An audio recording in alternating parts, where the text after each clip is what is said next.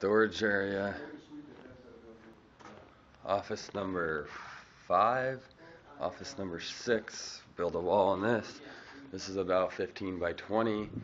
And then this is a, another giant office with a bathroom. Seven offices, one storage area, one bath, 3,500 square feet. Giant open space. To, figure that out.